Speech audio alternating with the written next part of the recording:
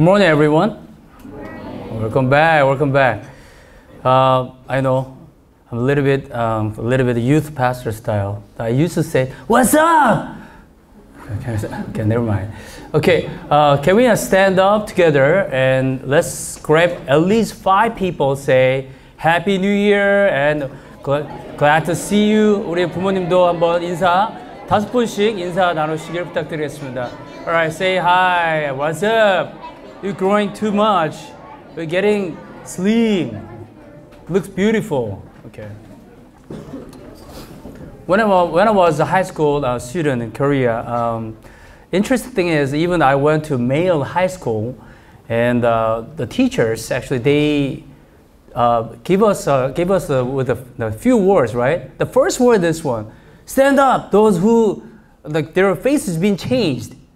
That means the plastic surgery they had uh, during the winter or summer vacation, and please come up. You know, I hope that we, we don't have right. Anyone? No. Naturally, you guys beautiful, right? No. 우리 부모님들 오늘 와주셔서 진심으로 감사하고 제가 가끔가다 썰렁한 이 말씀을 하실 때 같이 웃어주셨으면 좋겠습니다. Anyway, uh, I prepared some sermon uh, before we uh, share the sermon.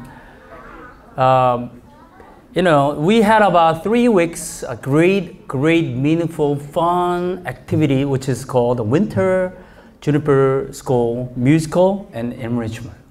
It's been about 10 years. Can you believe? Almost 10 years.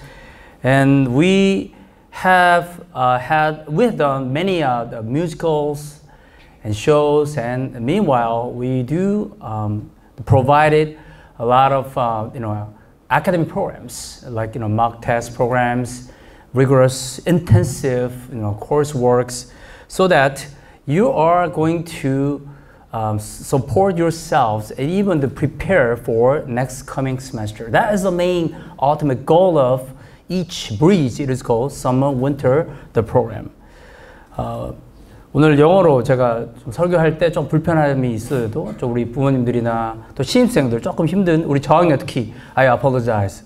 Today my sermon little bit, little bit the youth group style. Okay? 우리 저학년들은 내가 I guarantee, I promise. Uh, I'm gonna preach probably next week, not this week. I will, I will, you know, provide your style uh, next week. You know, my sermon style. So 잘 이해해서 포커스했으면 좋겠습니다. This is the uh, uh, the photo. We before we had a uh, musical performance. This time, you know, great uh, performance we experienced together. And after watching the you know, musical, everyone's really kind of impressed and really, um, let's say, special to encourage each other. And we really happy, satisfied by our achievement and cooperation together. Because a lot of reasons there are some reasons. One of the reasons is the teacher support. Mr. John and many teachers, uh, Ms. Joyce and Ms. Stephanie, the, you know, each teacher, Mr. Tommy, the, you know, all teachers got involved and support as a different role, as a responsible, I mean, the mentor and support with their talents uh, to, you know, come to the, uh, the great achievement, which is the, you know, musical performance. And uh, the younger students, you guys work together and support as a team and uh, the chorus choir a lot of harmony you know, ensemble ensembles as style you know and the um, some the pictures like you know we could see that you're great great you know, teamwork and learning from each other like all the student younger students and the same peers um, we learn each other. Please please join this great opportunity you know every summer winter time I know it's like you want to take some rest, but like, you know, uh, when you become adult college student, all the time remember not to study, friendship, mentorship, your activities, all the spiritual programs, you know, that will be great your the high school, middle school, elementary school life memories you're gonna have. And then another picture is like, you know, um, Ira, she's not here today, uh, she's a little bit sick, so she made a great job, and uh, um, she uh, introduced all the you know each stage you know with her uh, great uh, sing singings, and definitely um, uh, the main character um, Mary Poppins. And also, the we really happy to see our students study, you know, habit. You know, they really focus on study, like you know, staying the uh, IT lab two one and checking out their, um, you know, all the studies, you know, stuff and you know, take some rest. They went to field trip a few times and really enjoy, enjoy and memorable uh, their enrichment programs. Uh, thank you so much for your great job and achievement. I believe uh, some of you guys received the, uh, some uh, report, academic reports. So uh, let's work together this semester. And then those who haven't received, you're gonna get it pretty soon. 자, 우리 다 같이 우리 제한, 어, 창세기 12장 1절부터 4절 어, 한번 읽도록 하겠습니다. Um, next time, I would like to encourage the teachers, uh, home teacher, please sit right next to your uh, students because uh, we're gonna sometimes we're gonna have a prayer time and support each other. All right, Genesis chapter 12, verse 1 to 4. So let me um, read this Bible verse for you, and uh, 한국말로도 읽지는 않겠지만 한번 생각해 보시면서 창세기 12장 1절부터 4절 한번 보도록 하겠습니다. 아, 유명한 구절이죠. 예. Genesis chapter 12. It's a Hall of Fame Bible verse. Everyone knows. Everyone knows. Let me read this one. The Lord had said to Abraham, Leave your native country, your relatives, in your father's family, and go to the land that I will show you. I will make you into a great nation. I will bless you and make you famous. You will be a blessing to others. I will bless those who bless you and curse those who treat you with contempt. All the families on earth will be blessed through you. So Abraham departed as the Lord had instructed, and Lot went with him. Abraham went was 75 years old when he left Haran. Today, my key verse is this one. Verse um, 3 All the families on earth will be blessed through you. This is the key verse I would like to emphasize on today with you. 오늘 저는 창세기 12장 3절에 너의 모든 그 가족이 민족이 너를 통하여 축복을 받을 것이다 라는 그 구절을 토대로 말씀을 준비했습니다. We just started 2024 and brand new semester. 2024 spring semester. Fresh start. The topic is, title is Fresh Start. In order to prepare this message, I was thinking about my life and everyone's life. From we, you know, born on this planet until we see Jesus Christ. We don't know the when and time. Sometimes earlier, sometimes late, maybe in terms of our perspective. And then our life is not just one set, which means we often go to a different location. Frankly, I don't like moving. So we actually, uh, we've been working on this uh, renovation project since actually last year, you cannot believe, since when? September 2023. And it's been still going on. And some parts are still fixing, repairing, and on and on. And we're just trying to purchase and fit up each classroom. Some students and teachers request and parents too. You know, actually, the uh, in order to settle down, even this facility, it takes more than five months. What about our life? Your, your life, my life. Like age, the first grader to senior students, even college students and adults. When you get married, do you feel like settle down? You gotta live in the one house permanently? Not really. When you get married, even job requires maybe you gotta relocate to certain location to go or commute every day, which means life, like kind of living as a, it is called immigrant life. 우리의 삶이 매 순간 살아가면서 이민자의 모습, 우리가 어느 순간에 한 곳에 있지 않은 상태에서 매일, 매년, 매 순간 우리는 이동해야 되고 적응해야 되고 거기에 맞춰 살아가는 우리의 삶을 볼 수 있습니다. Today, I'd like to uh, share about my life and a lot of teachers maybe get engaged with this topic. It is immigrant life. Because uh, I grew up until age 20 years in Korea, South Korea. And then I went to the States when I was 20 and until about the mid 40 years. So I came back uh, around that time and I feel I consider myself, I feel like stranger. Even though I grow, I born in Korea, I grow up in Korea, but majority of my time, my life, even friends, my teachers, all kind of important that my communities is what? Not here. I feel like America. I know my wife because sometimes teasing me, you're not second generation. You're not, you're not, you're, you're born in Korea. Why you like looks like pretending kind of second generation, you know, Korean American, something like that. And I go to McDonald's, right? And I order like this, um, uh, 빅맥 세트, uh, uh, zero 콜라 하나 주세요. 아, 재수없어. My wife said all the time they said that way, all right? It's like, um, because like, you know, this is the uh, kind of like culture, what I learned from the States and even I grew up like that way. My school I went in the LA, Los Angeles, pretty much like Asian, like so many Asians, but the little K-town, Koreatown too. But my school, there are only about 13 like Asian students, especially the uh, Korean people, less than 10 students. So predominant the white Hispanic the students, I had to survive in that community and try to speak in English. Like so much time I put it on my efforts on my education. One of the history, I mean, stories of what I learned when I visited, actually, it is called San Diego Place in California. If you look at this map and I mean the uh, picture, then on the right side picture, on what? Caution, yellow sign. 조심하라는 사인이 하나 있죠.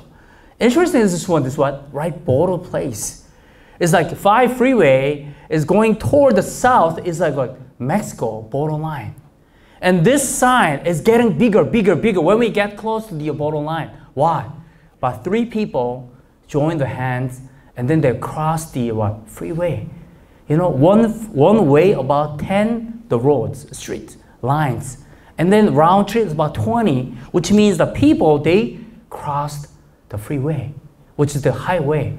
고속도로를 한 20차선 되는 데를 낮이고 밤이고 불법 이민자들은 국경을 넘고 그곳을 통과해서 미국으로 들어오려고 하는 사람들이 많다는 것입니다. 특별히 멕시코 쪽의 국경에는. Why? What do you think? Why they cross the borderline and with their kids, infant kids, younger kids, even older elders, they cross the borderline for one reason what? For their family. For their new opportunity. It is called what? A new fresh start. Regardless of their age, cultures, even what? They want to get restarted. I want to have a new opportunity for my family, my education, my also my future. So they decided, but government they built what? Built what? It's a huge, a tall barrier, borderline area. However, they crossed the borderline and they tried to settle down and start fit start survive, start to support their family members. How? Working more than 12 hours. It is called immigrant life. Even the, uh, the white people, they, their ancestors actually came from Europe in American history. It's like they, their forefather fathers, they relocate from Europe to the uh, what? It's America, which means the first gen, the second gen generation. They went through a lot of suffering, finance, language, cultures, and people relationship. So the people, their, their forefathers, which is ancestors, their sacrifice made, bear the great fruit for next generations, which is what? Opportunity. So it is called America is the land of opportunity. Opportunity. Sometimes I watch the movies, it is called Immigrant Life, the stories.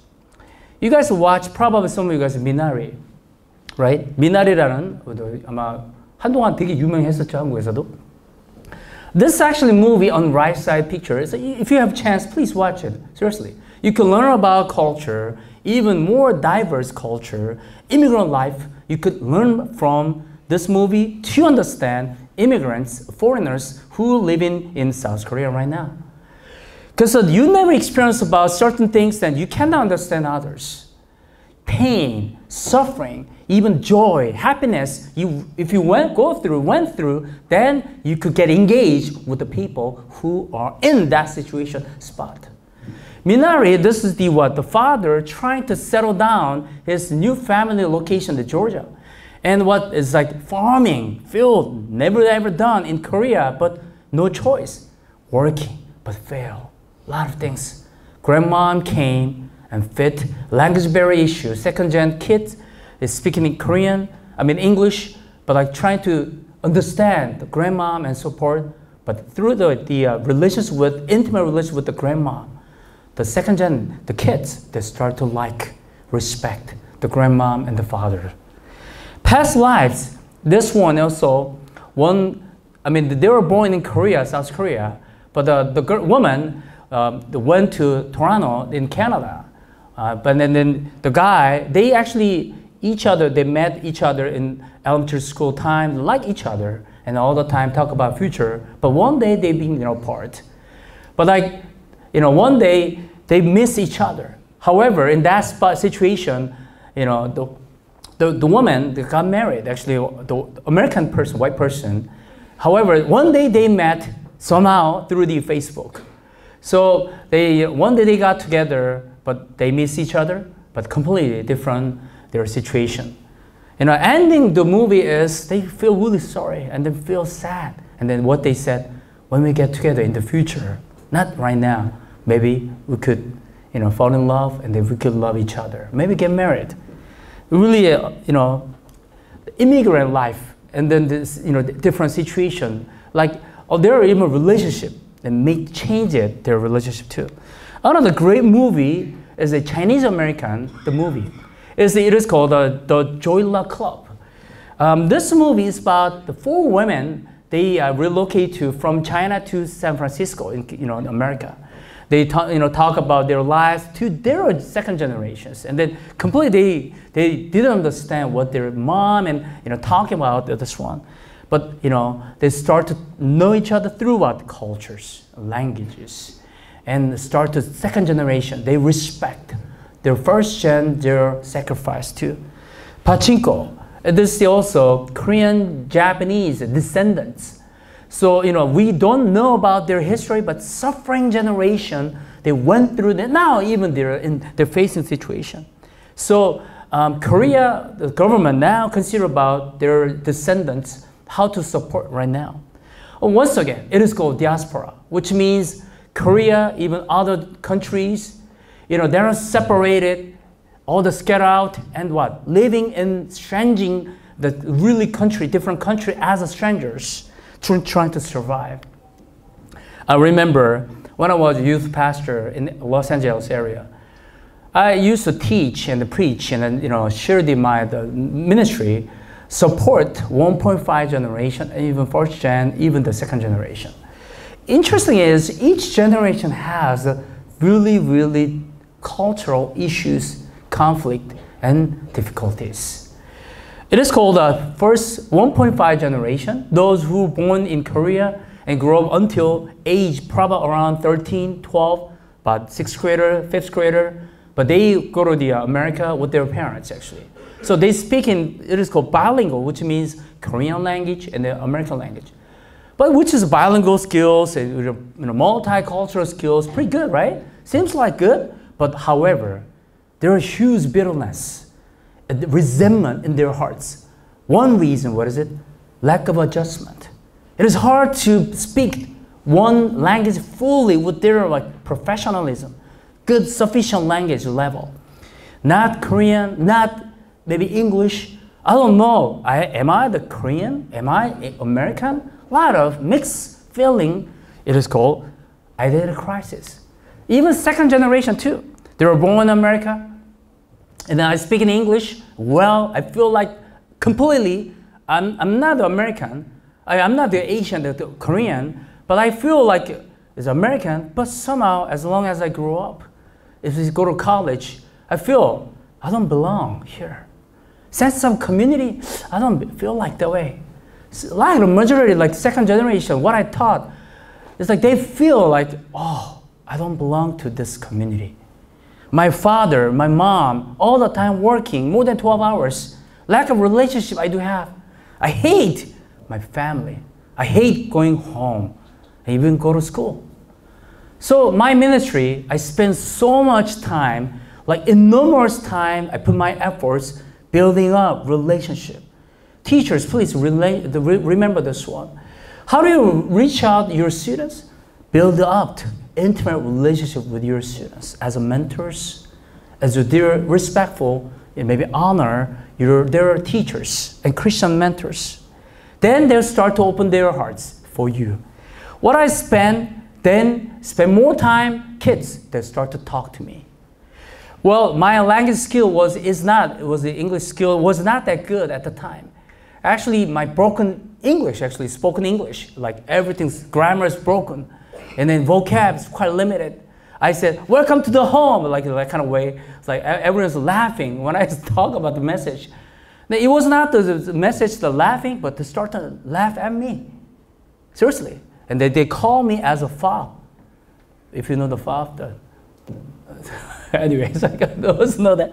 Anyways, like so you know they tease me like something like that. But once again, when I when they face this one, identity crisis, cultural gap, language issue between first generation, second generation, 1.5, 1.5 generation, second generation, all the time we're struggling. And the ministers, including myself, we came to them and we started to talk and open their our hearts and pray for them and spend more time. Take them out to hang out and have lunch and dinner until well, sometime midnight. We spend a lot of time. And then they start to share this message. Broken hearts. My father, my mom never ever spoke to me. Never ever they will open their hearts and share, listen my bitterness, my difficulties. There's no one who listened to my words resentment, bitterness, all the difficulties bother them to move on next stage. Our jobs, the ministers, trying to be or the, become the bridge role between their parents and second generation, first generation, 1.5 generation. How? It is called love.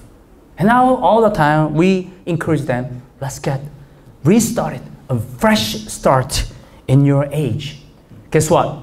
Asian students being influenced by their gener- father's generation, it is called Confucius the generation, which means like they feel like the, uh, they're all the time study. You know, that that's the best way they could please their parents. So it is called education. What the theory is that Asian zeal, you know, the first generation, second generation, 1.5 generation, they went through a lot of crisis and, you know, fighting, battling with their parents, rebellious stage, but one day become mature stage. And then what? They start to say, I would like to study more and please my parents, achieve my goal. I'd like to support my parents, my families. Many Asian students, a lot of you know, people said they're really good at study. Why? One of the reasons, theories, it is called Asian zeal, to respect their parents to please what their parents ask. Is it good or bad? I don't know. But this is a traditional culture from Asian you know, society community. It's an immigrant life. All the time we say that what the refresh start. Why? Life moving, relocating every moment. The story of Abraham is the same thing. It's like his life is not settled down one location. It's interesting is this one. It's about, look at this map that he started from Uru. It's a Ur, U-R place. And his father, he took his entire family members to, it is called Babylon. You know, this time Babylon is like New York. It's like pro- prosperity, you know, town and all the entertaining stuff and the industry, like the boom, like a lot of money possessions they had. However, idolism, was like a lot of, you know, like some idols, even the temptation, a lot of sinful city, you know, they had, so took to where? Is a Haran. And Haran, in this time location, the, the Abraham's father, is his, he passed away. But in this situation, God came to Abraham's life and call him, I will call you what? Abraham, not Abram anymore. And you need to go to a place where the location I'll point out. You never been there because I've been there. I knew how to survive, how to be there successful. Go follow my direction. And this is the, uh, the chapter we just read. Genesis chapter 12, verse 1. What the Bible said, the Lord has said to Abraham, Leave your native country, your relatives, your father's family, go to the land I will show you. Can you imagine? You've pretty much you settle down here. You know your friends. You know your parents. You know your lot of neighbors. But feel like everything's done. But one day your father, your mom, and God came to your life and leave from this place. Where? I don't know. Here is what the Bible said. I will make you, then go to the land that I will show you. I will make you into a great nation. This one promise, verbal promise, no evidence, verbal promise. I will bless you and make you famous. You will be a blessing to others. Then which means you will be contagious person who bless others.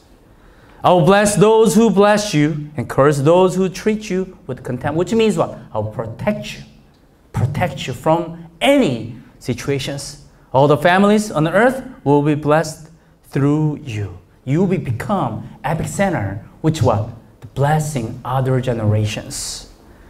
And this is the really impressing statement.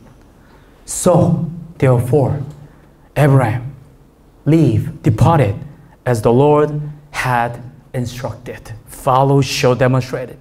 And Lot, which is his cousin, went with him. Abraham was how many? How old was he? 75 years old when he left Haran. 75 years? It was not young. Well, actually, as long as I am aging, what I feel that my body's physical condition was quite limited. Seriously, I enjoy the snowboarding. Seriously, about 10 years ago, no hurts anymore that knee, my joint, but now I feel like pain in the joint. Seriously, I need some rest. Even my memory skill, I used to memorize really fast but really hard right now. Why? It's hard to memorize by verse. Which means that as long as aged, which is getting aged, I feel lack of confidence I do have. But Abraham, age was what 75 years old. God came to his life and command, leave your hometown. What do you mean? A? Fresh new start with God's direction. I want to encourage you guys we're gonna start a new semester, brand new semester, brand new week. Next 19 weeks. Can you believe we don't have a spring break this year?